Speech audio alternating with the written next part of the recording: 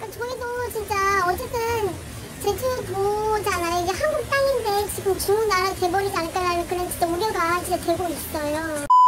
중국 국적자의 토지 보유 증가 속도가 매우 높습니다. 국회 홍석준 의원이 국토교통부에서 제출받은 자료에 따르면 2011년 외국인 토지 보유는 7만 1,575건에서 2020년 15만 7,489건으로 증가했습니다. 2020년 필지 기준으로는 아파트 취득 관련이 4만 431건으로 가장 많았습니다. 필지는 사전적 해석으로는 구획된 논이나 밭, 임야, 대지 따위를 세는 단위를 말합니다. 면적 기준으로는 공장 용지가 5,878만 제곱미터로 가장 많았습니다. 서울 월드컵 구장 대지 면적이 21만 6,712제곱미터로 월드컵 구장의 약 271배나 되는 엄청난 면적입니다. 국적별로 보면 중국 국적자의 토지 보유가 매년 빠르게 증가했습니다. 2011년 3,515건에서 2020년 5만 7,292건으로 크게 증가했습니다. 2011년 대비 2020년 필지 기준 5만 3,777건, 16.3배, 면적 기준 1,630만 제곱미터 5.4배, 공시지가가 기준 2조 614억 원 3.7배 증가했습니다. 1,847만 제곱미터인 제주도 전체 면적의 89%에 해당됩니다. 외국인 전체 토지 보유 중 중국 국적자 비중 역시 빠르게 증가했습니다. 필지 기준으로 2011년 4.91%에서 2020년 36.37%로 급증했습니다. 면적 기준으로는 2011년 1.93%에서 2020년 7.89% 증가했고 공시지가 기준으로는 2011년 3.06%에서 2020년 8.97% 증가했습니다. 중국인의 토지 보유 현황을 지역별로 보면 경기도가 1만 9,014건으로 가장 많았고 제주도 1만 1,320건, 서울 8,602건, 인천 7,235건이 그 다음이었습니다. 면적 기준으로는 제주도가 914만 3천 제곱미터로 가장 컸습니다. 중국인 토지 보유 현황을 2011년과 비교해보면 서울은 필지 기준 772건에서 8,602건으로 7,830건 11.1배 증가했습니다. 경기도는 713건에서 1만 9,014건으로 1만 8,301건 증가했습니다.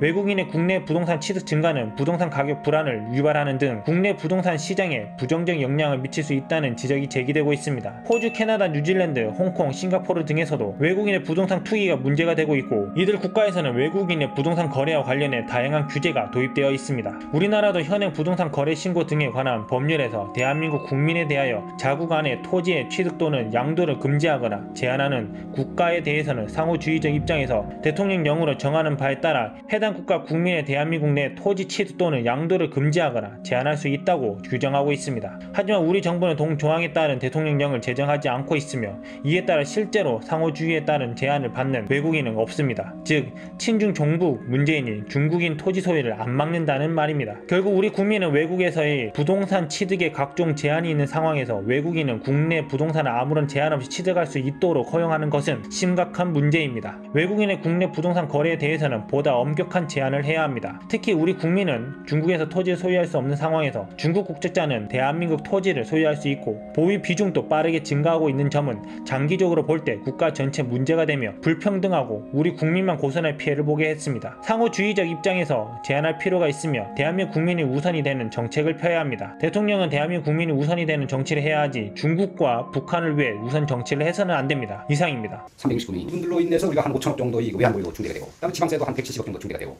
또 이로 인해서 그 외국 자본들이 예, 우리 그 관광 인프라 시설이라든지 배경에는 그런 그 우리 그 투자 이민제도 큰 역할을 한다. 중국에 투자한 콘도 사람들 유력한 사람들입니다. 이 사람들이 해외 진출할 때 우리 네트워크 자산이에요 사실은. 긍정적으로 보면 이 사람들이 들, 들어와서 제주의 구매력을 가지고 소비 시장을 엄청 넓혀줄 사람들이고 제주의 경제 영토를 확장하는데 엄청나게 중요한 네트워크 자산이에요.